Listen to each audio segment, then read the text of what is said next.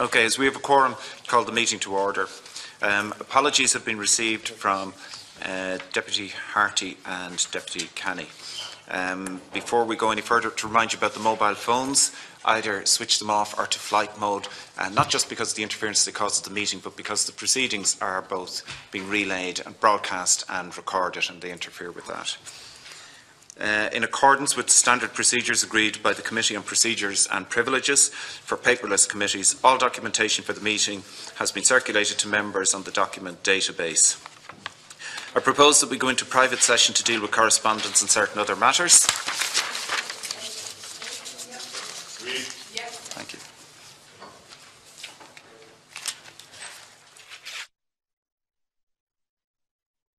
We're now in public session.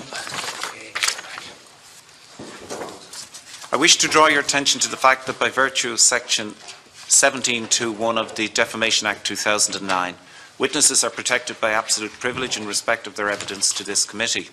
However, if you're directed by the committee to cease giving evidence in relation to a particular matter and you continue to so do, you're entitled thereafter only to a qualified privilege in respect of your evidence. You're directed that only evidence connected with the subject matter of these proceedings is to be given, and you're asked to respect the parliamentary practice to that effect. Where possible, you should not criticise nor make charges against any person, persons or entity by name, or in such a way as to make him, her or it identifiable. The opening statement submitted by the committee to the committee will be published on the committee website after the meeting. And members are reminded of the long-standing practice to the effect that they should not comment on, criticise or make charges against a person outside of the House or an, individual or an official, either by name or in such a way as to make him or her identifiable. I'd like to welcome the Construction Industry Federation, um, represented this, morning by uh, Tom Parlon, Director General, uh, Mr Hugh O'Neill, Mr Anthony Neville, Mr Hubert Fitzpatrick and Mr Shane Dempsey. You're all very welcome. Um, I understand you're going to make a, a short opening statement and we'll then take questions from the members of the committee. Thank you for your attendance today. Right, thank you very much, Chair, and uh, good morning, uh, ladies and gentlemen, members of the committee. And uh, first of all, I want to say we're very happy to be here uh, to assist, I hope, uh, the committee, because I know that you have a fairly tight deadline and that you have to come up with recommendations uh, in, in, in, a fairly short period. Um, the two gentlemen on my left here are actual members of the CIF, uh, and they're both house builders. So from that point of view, I think they'll bring quite a bit of experience and hopefully, uh, you know, in the questions and answers. Uh, my, my two colleagues on my on my right hand side here are the the, the executives uh, who work who work with me. Um, I suppose we we represent the builders who have the skills and the capacity to build the houses, um, and hopefully, you know, we can bring that perspective to the committee. I think at the outset, in terms of house building as being part of the overall Construction Industry Federation. It has now become a lesser part, but still a very substantial part. And the industry actually in, in, in, in overall capacity is actually growing and is recovering. Um, has quite a bit to go before it is deemed to be at sort of the normal optimum level. Uh, but CSO figures would show that we're, we're increasing the workforce by about a thousand uh, construction workers per month uh, recently. Unfortunately, it hasn't materialised uh, in the in the uh, residential side. So what's uh, we're here to address. I've read the transcripts of the other um, participants so far, and we would say that supply is the real problem, the lack of supply. I know some other people have suggested it was management of the supply we have, but uh, I think there's no question about it that um, supply is a major part of the problem. And uh, the large problem that the industry have is the cost of production, the cost of, uh, the cost of, of, of construction, uh, as against the affordable cost as to what the market is in a position to offer at the moment. And uh, the presentation goes into quite a bit of detail about that. Um, we also feel there's need for very substantial infrastructure investment. Uh, we can't just build 10 or 25,000 houses with substantial, without substantial uh, infrastructure investment, be it in the road structure, in the water and wastewater, uh, and even in terms of schools for new communities and so on. And we know there's been quite a bit of debate lately about a minister for infrastructure and construction or a minister for housing, we certainly feel that it's imperative that somebody has overall responsibility.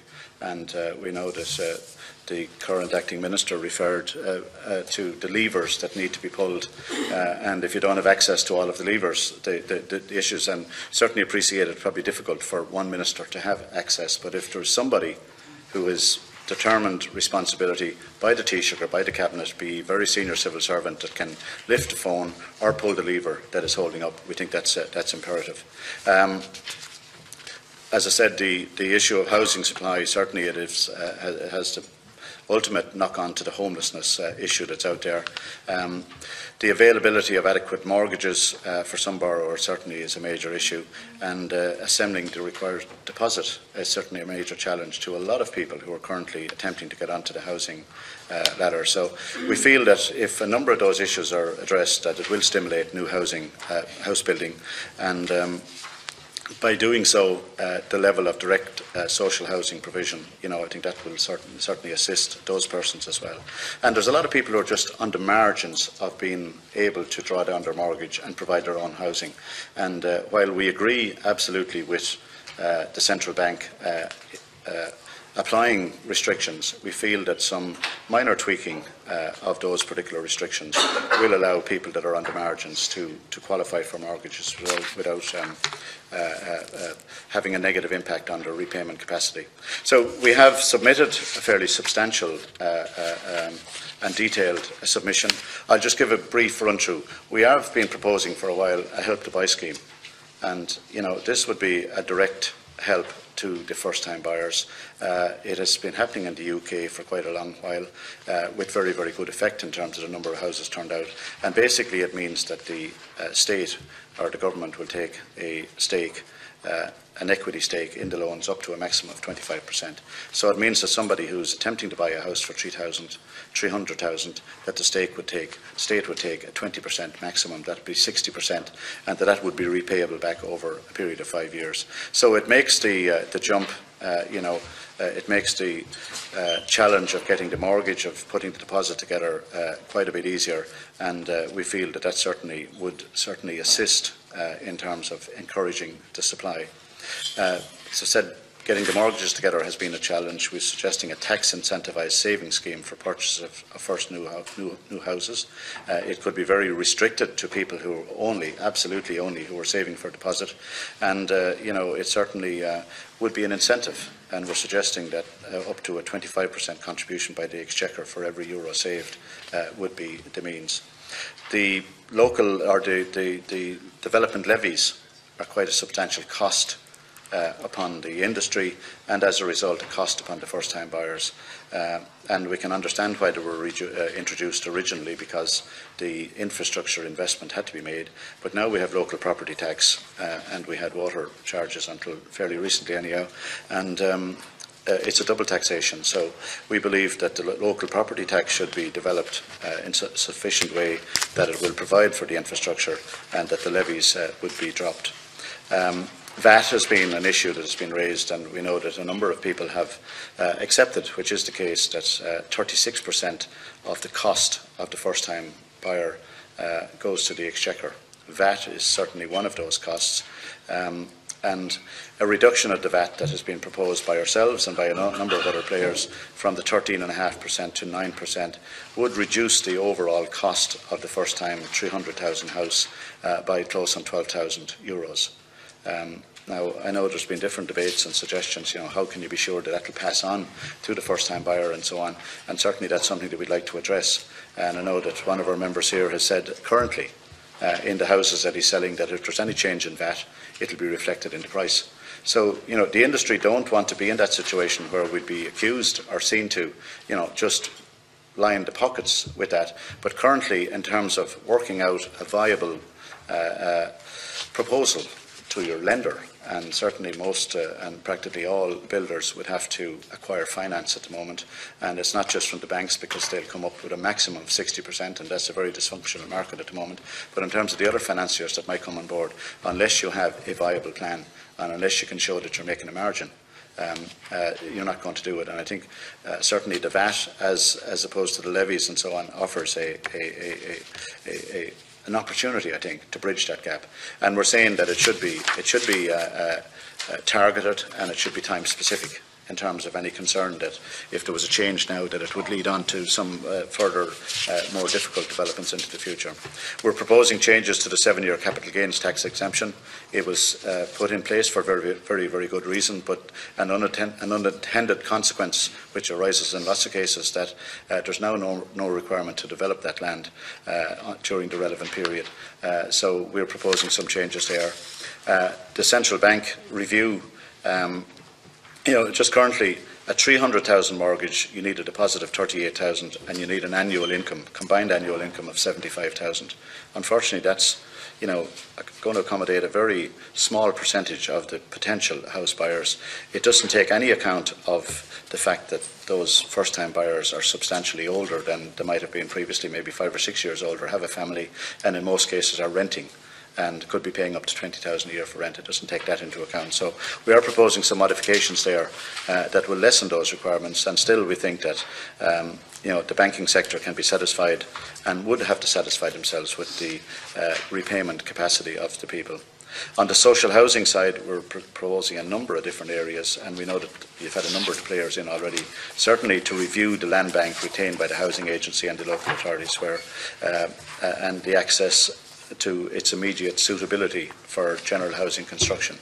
Uh, we feel, and we know lots of commentators are saying, within the M50 there is lots and lots and lots of land.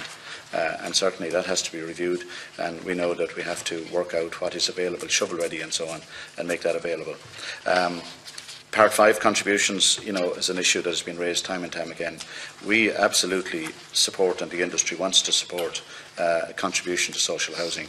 Uh, we feel that the Part 5, particularly when there's little or no housing done, it made a very, very minute contribution. And we feel now that if we are to sort of ramp it up, uh, that that Part 5 contribution passes on, just like all the other costs, onto the first-time buyer. And we have proposed all along that instead of the Part 5 social housing contribution, that should be a 1% levy on all residential transactions. And uh, the figures that we have presented here would show that it would bring in substantially more um, than uh, is currently the case. In terms of uh, urban uh, regeneration, uh, and particularly we're talking about uh, rural towns, there is a lot of capacity and a lot of rural towns and a lot of derelict sites uh, certainly um, you know, uh, are falling into disrepair and we're proposing some uh, incentives there uh, that would encourage the people that own those sites to turn them into good quality living accommodation in towns where it suits people to live and suits families to live and so on, and, and that would make the, the upgrading more financially viable. The last point I'm going to raise, Chairman, is the Register of Builders, um, the Construction Industry Register of Ireland. Uh, it was accepted by the outgoing government, uh, Action 55, to uh, provide uh, on a statutory basis the register uh, for contractors and builders and tradespersons.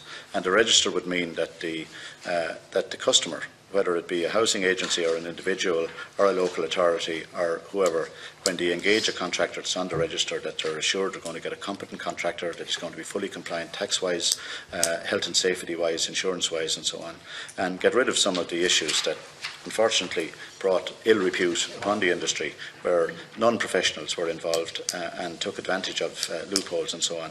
And this is something that the industry absolutely supports. There's a voluntary register in place at the moment. There's over 850 members or 850 uh, uh, uh, uh people registered.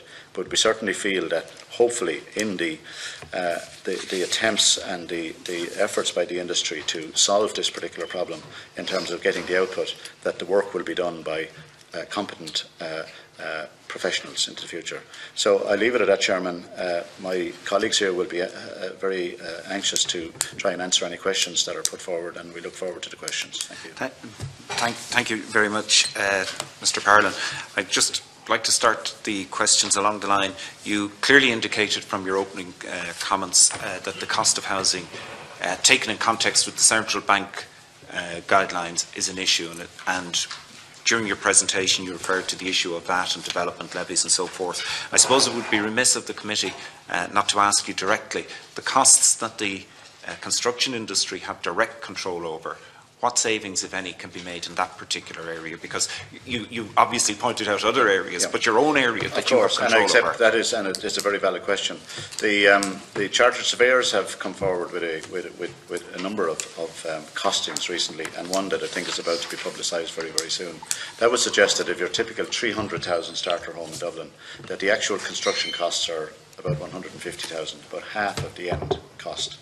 Um, after you've constructed it, you obviously have to provide for the site, the VAT, the levies, the Part 5 contribution, and so on.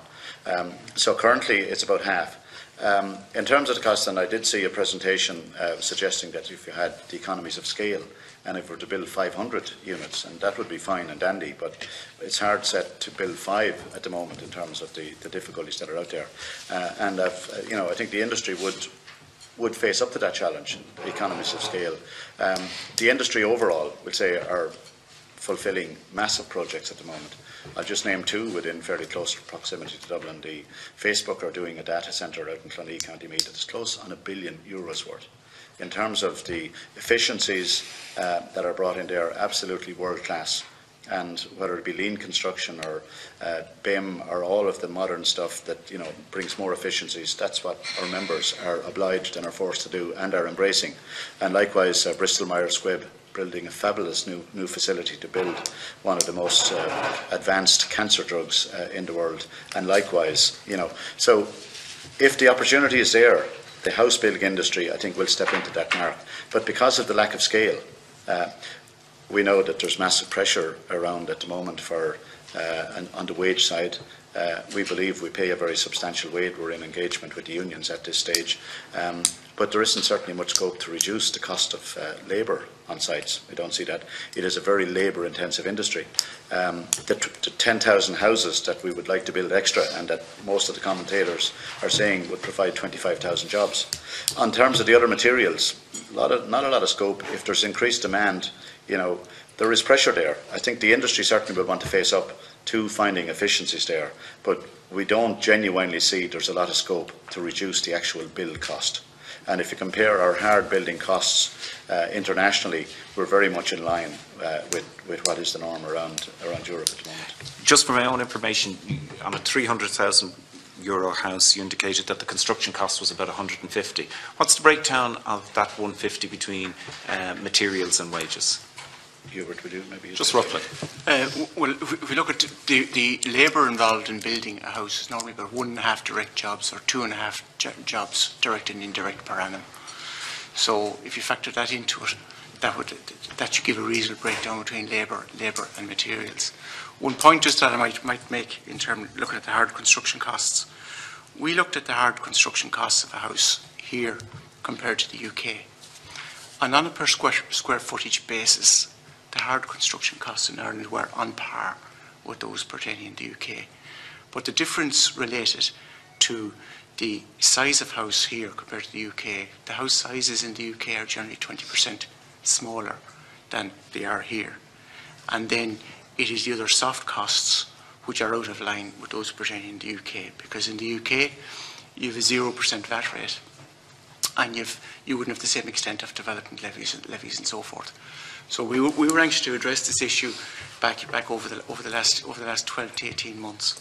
And we're feel, happy that, look at the hard construction costs are broadly online on a per square footage basis, but it's the other related issues that are causing the difficulties, including actually size. Okay, Thank you. Members? Deputy Durkan. Uh, Chairman, I welcome Mr Powell and- and his colleagues. And, and uh, just a couple of of questions. Thing that intrigues me most is the, the, the 300,000 uh, euro starter house and the ability of the average uh, loan applicant to be able to service a loan. Now, t- from my, to my knowledge, and we, as you know, uh, Mr Chairman, are supposed to be well paid, I wouldn't be able to, to service that kind of a loan. And I, I wouldn't be able to come from a starter house. And I'm, I'm sure I'm not the exception. So what I, what I am and want to inquire about is, at the moment, in, in your calculations, what, what regard has there been had for the, the, the, various costs, uh, I accept, by the way, the, the, the VAT and, and the taxes being one third of the total uh, cost of the house, I accept that, and it's crept up gradually to such an extent that's virtually impossible. What I saw as being the biggest contributor to inflation in house prices were two things. A, the speculation that went on within the land sector. In other words, a person acquiring a plots of land or plots of land or control over a multiplicity of plots of land and using that as a lever uh, to, to, to, uh, to, to, to enhance their own profits. There have been countless instances of this, and I, I note what you say about the capital um, acquisition tax, the capital gains tax, and all this kind of thing. They should actually kick in to, to, to remove those problems, but apparently they don't.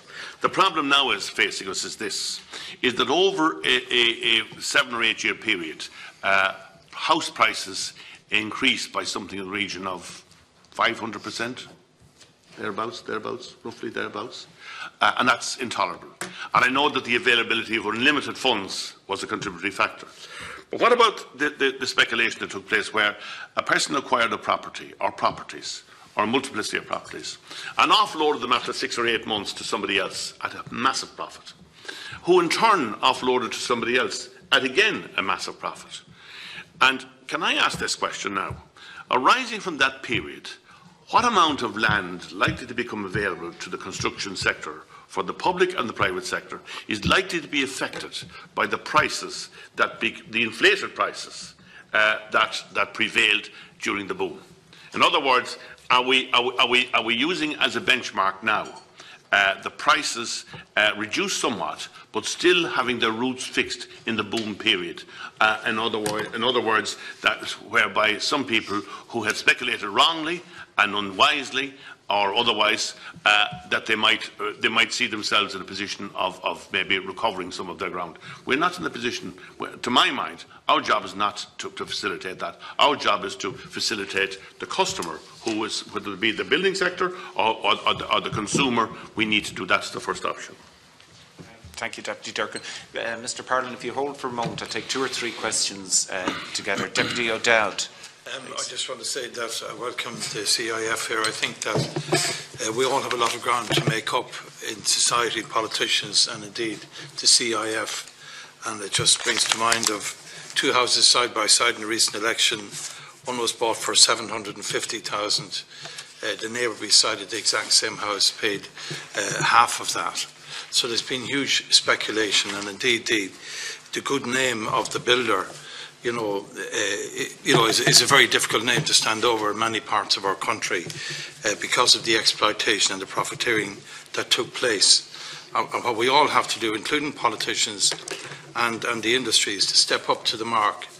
And I would be concerned that uh, I would have liked to have seen a lot more constructive suggestions, Mr. Parlon, from your association here. I welcome the points you make, and I'm not being critical of those but I think we'd like to hear more from you about what more you can do as an organisation uh, to reduce costs yourselves and to make housing more affordable. But the two questions I have for you are basically one is that you have an awful lot of either uh, properties in town centres which are over shops and over businesses which are unoccupied. And notwithstanding the issues that might arise, would you be, it seems to me that would be a constructive thing to have a scheme whereby you could actually make them suitable for, for modern flats or residences for people who would have the family type that could live there. I'm talking about maybe childless couples or single people or whatever. Uh, there's also a lot of infill sites in local authorities, in the ownership of local authorities, um, which I believe, if the councils identify them, that the, we ought to be able to reach a, a satisfactory solution that they could offer them as service sites to builders competitively uh, to build on, and that would get over a lot of the infrastructure costs that, that you're actually talking about. And the last point I want to make, uh, which is something which I think was the Affordable Homes Partnership, I think some years ago, we're looking at a place like Gormanston Army Camp, where there's over 200 acres. And if you were to take, say, 60 acres of that land, uh, and if that were serviced by the state, I'm talking about uh, you know, we have to get the vehicle which other members have spoken about, a special purpose vehicle or whatever, whether it be NAMA, whoever it is, that we could offer service sites, serviced by you know, by, by the state in terms of the, you know, the special infrastructure funds or whatever, to builders at a competitive uh, fixed price environment. In other words, it would do away with the issues that you have as an organisation as regards the cost of infrastructure. The state has an obligation to support social and affordable housing, I believe. And is there a formula that we could find uh, nationally or regionally, or even, I think it probably would require a bigger organisation than the County Council to get it right. But we could immediately move on sites that are owned either A, by local authorities, or B, by the state or semi-state bodies, uh, that could be used immediately, immediately for housing. And I would like your views on that. I'll take one more and in this section. Uh, Deputy Cop- Coppinger, please. Thanks, um, Chair. Um, the first question is just what's the uh, CIF's view on the report at the weekend in the Sunday Business Post that NAMA has allowed 80 major property developers walk away from one and a half billion worth of toxic debt. The write-off is equivalent per developer to 19 million. And I'm just wondering how the CIF feels is that just, uh, have you any views on it, given ordinary mo- mortgage holders are, are still being screwed to pay for inflated house prices, but yet members of yours, and maybe they're not all members of yours, are being allowed to walk away from their debts. But the, I just wanted to deal with what you raised in your submission. Um, so my substantive question is, how much profit is enough profit for a builder to build? Um, for example, on a house selling this famous starter home that everyone's talking about for 300,000, which doesn't seem much like a starter home if you consider the income you need to buy that.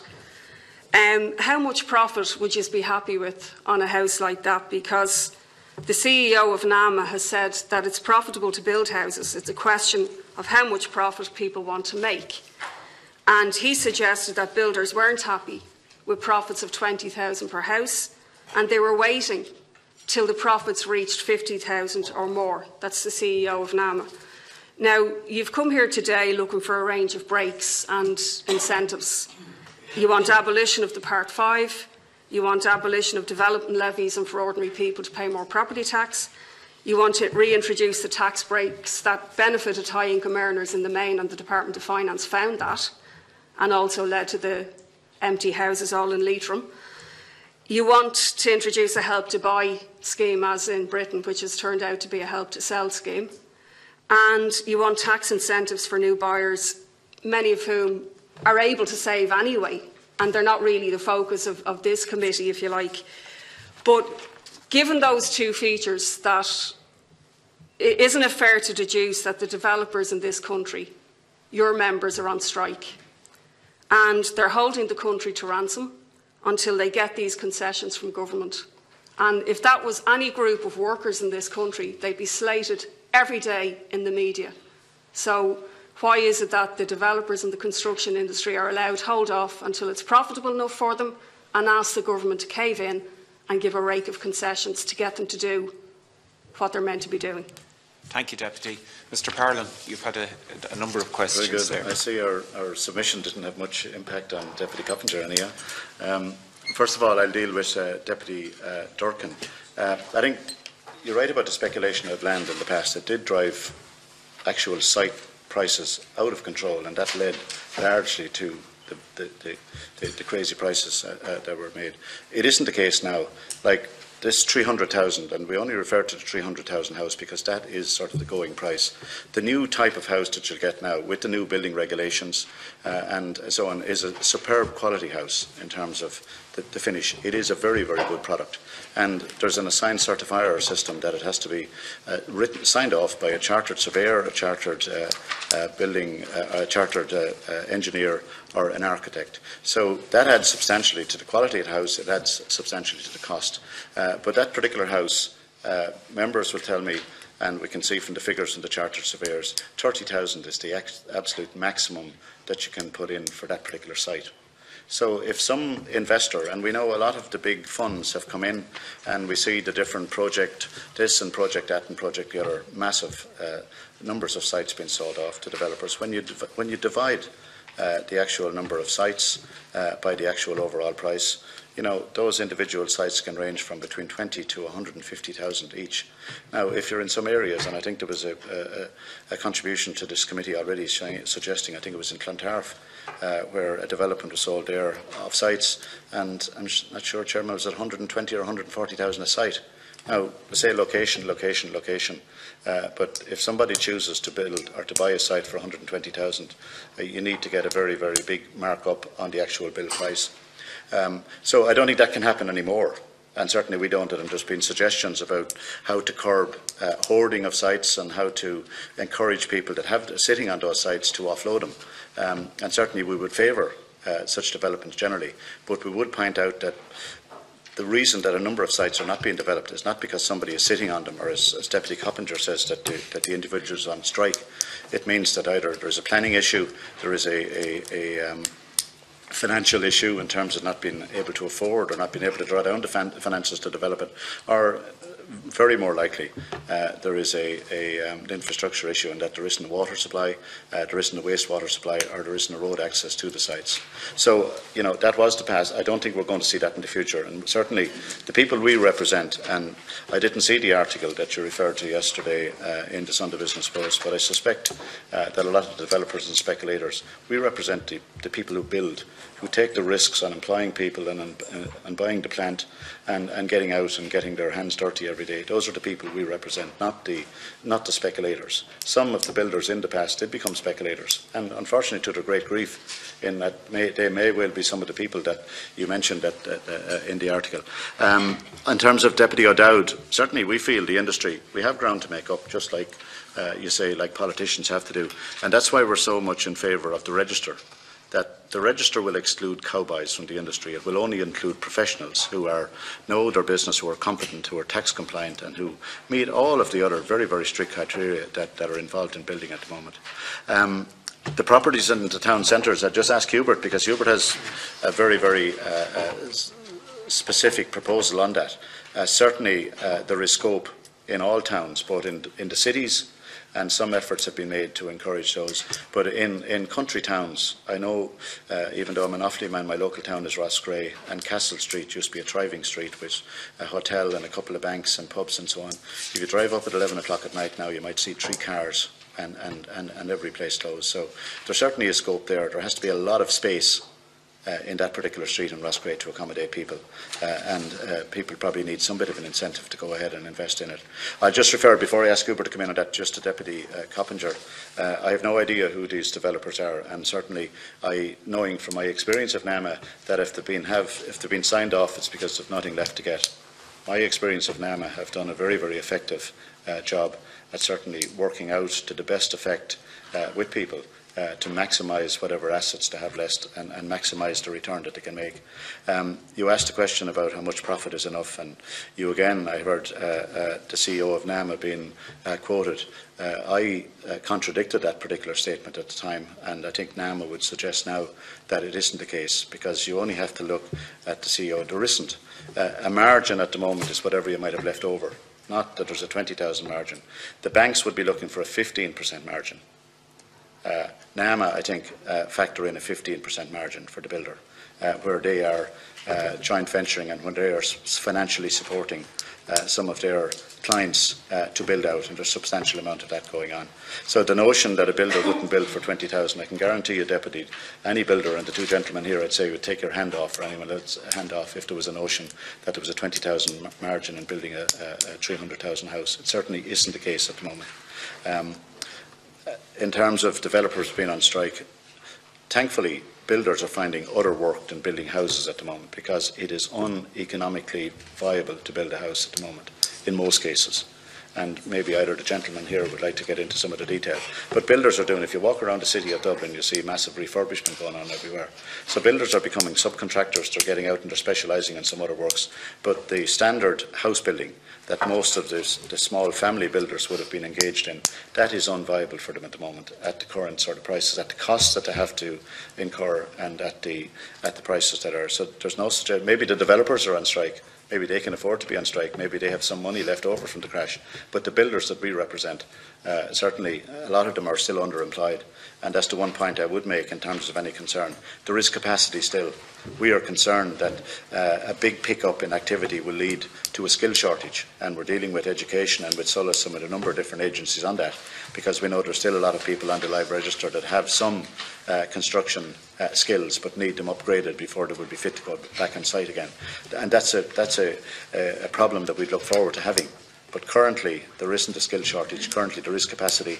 And in terms of the house builders and the, the general main contractors, we know that some of the bigger schemes will involve uh, main contractors that will be tendered and so on. And I've come across one of our members lately uh, who's, who's uh, doing a, a substantial scheme of 100 houses plus, and he's operating on a margin of just over 2%. And I think any businessman looking at it, would say that's a margin that is way too tight uh, to guarantee uh, you're going to get a return at all. But such is the tightness of the margin, such is the comp comp competition in the business that the margins are that low. And to suggest that builders wouldn't build for a 60,000 margin is ridiculous. And I think you should ask uh, the CEO again if that's the, the, view that he holds, because it can be used in lots of cases to throw out and have a go at builders. It isn't the case. I can guarantee it isn't the case. Um, Mr Fitzpatrick. Chair Chairman, in, in many parts of the country, the sales prices of existing stock is way, way below replacement cost. In that, you know, you can buy houses in many parts of the country at the moment for perhaps 70, 60, 70% of the build cost of those units. And that is a major problem because it is not viable to secure finance to go in and build any units in, in those areas. So that clearly has to be addressed. With regard to Deputy Dowd's suggestion there about uh, the various infill sites, yes, I think that there, there is significant scope for rejuven rejuvenating th those particular sites. Um, you know, there may be some constraints to developing those sites. There may be issues in relation to building regulations uh, that pertain to living over the shop areas and so on. And we would suggest that the building regulation should be looked at to ensure is there some way they could be tweaked to ensure that you can make that development viable and at the same time ensure you're building buildings that are fit for purpose and, and, and satisfy all, all, all needs. Um, the, the regional nature of the market cannot, cannot be over, overemphasised because uh, you have some development taking place in Dublin and Cork and Little and Galway. But after that, it's, it's, it's very, very sparse and there's very little done. But I, I would say that uh, the industry wants to get out there build houses, but because the, if the costs are higher than sales prices, it's just not, it's just not viable to do it. Thank you. Deputy Cowen. Thanks, Chairman. Apologies for being late to the CIF for coming forward and making their presentation. I, I read it earlier, so, you know, we're be on the same page in many aspects of it in relation to the savings schemes, in relation to recognition for those that are renting properties, and um, being given some credit in relation to the review that the central bank would have on deposits. In relation to the land banks, you know, and the audit of them and the potential for development, I would ask that, you know, your opinion in relation to joint ventures that may uh, be possible with local authorities and maybe, you know, the incentive for that in the first instance in relation to the VAT refund or the reduction of the VAT might be something to explore. Um, you will be on the same page in relation to town renewal and regeneration schemes. Um, have you any suggestions or, or, or, or, legal opinion in relation to the CPO legislation and its potential for exploration there, where local authorities could take the lead? Um, you know, again, I wouldn't agree totally with your, the, the, way in which you, you, seek to revise the development levies you know, I think that's to be a holistic approach that needs to be taken across the country, and I think, um, you know, government have a role to play in, in, in realising that wish. The two questions I have, you know, I also, by the way, you know, I disagree with you in relation to part five. I think if we can, across the whole uh, construction sector, seek to help and assist uh, private development and public development and address the issue in relation to uh, rental and mortgage distress and so forth, that there's a holistic approach that will improve the lot of the social dividend for the state. And I think, you know, having played our part in revising that, that, that, that sector, that there should be a return on that investment in relation to Part 5, and I would like to see the 20% restored, not alone the, the 10%, but I, I, hear where you're coming from and I respect where you're coming from. But obviously if there's improvements, there has to be a, a benefit derived by the state. Uh, the two questions I have in relation to certification and compliance costs. I don't think you, you referred to this in your submission. And I know, for example, it's been said that the, you know, it's costing up to 20,000 for an apartment in Dublin. Uh, the costs have been exacerbated in recent years with the new uh, regulations that have come into force. And would you be interested in a, you know, in a license system that was specifically dedicated uh, towards that area, you know, maybe supervised and managed and, and, and policed by local authorities? Uh, would you have a, a view on that? And also in relation to the availability of funds, I don't think you mentioned that in your presentation, but that is one of the major stumbling blocks to, to, to the development taking place at present, and the, the, the, the lack of available funds from, from institutions. And, um, you know, the government initiated a scheme together with some American funds where the government invested 125 compared to 375, a 500 million fund. Um, what rate has been paid by your members, or been asked to be paid by your members? And how does it compare to the mezzanine funds, again, which are uh, far superior, far greater than, than one would expect? And um, would you be open to, you know, strategic investment funds be put in place in order to help and assist the sector at more competitive rates than, than is the case there? I, I'm sure you would agree with me in saying that if rates of 15 and 16 percent are being charged, uh, that that has to be uh, put, put a stop to, and we have to think again and put in place more realistic uh, proposals that can help and assist the industry. Thank you, Deputy.